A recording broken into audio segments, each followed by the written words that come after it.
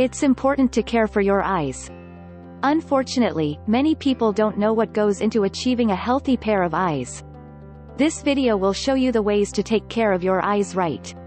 For the best eye health, it is recommended that you only see qualified eye health professionals.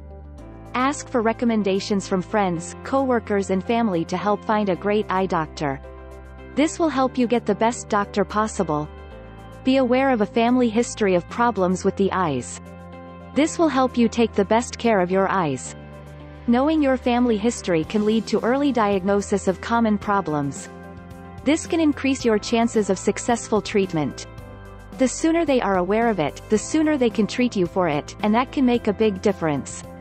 Sunglasses are not all created equal. You would like to block all types of dangerous rays. Even if you choose fashionable glasses, you need to know that some cheap varieties can harm your vision. Surprisingly enough, the foods you eat can also impact your eye health. Studies have proven that consuming foods high in vitamins C and E, omega-3 fatty acids, and zinc can prevent cataracts and macular degeneration, amongst other eye conditions. Tuna, beans, salmon, nuts, leafy greens and oranges all are foods with those nutrients. If you smoke, stop it to protect your eyes. There are many associated health risks, and your eye health is one of them. Anyone who smokes longer is at higher risk of eye damage. By stopping smoking, you can cut the risk of optic nerve damage and cataracts. Your eyes need to be checked out on a regularly basis by a doctor. Sight issues should be checked immediately, but understand that some symptoms don't always show up immediately.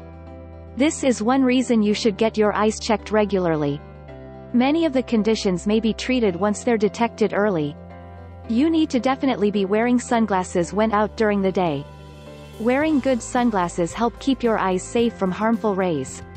You're going to need to stay away from this to not get macular degeneration or the problem with cataracts. For optimal protection, use sunglasses that fully back out harmful rays. Wraparound sunglasses are especially protective. If you blink more than normal, it might be an eye problem. If it doesn't turn out to be dry eyes, then it could be due to nervousness and stress. If stress is the cause, try relaxing. For any problem, talk with your ophthalmologist. Look at the heating and air conditioning situation in your home.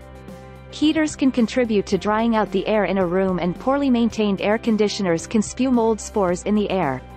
Turn on a humidifier to help put moisture in the air. Moist air prevents dry and irritated eyes.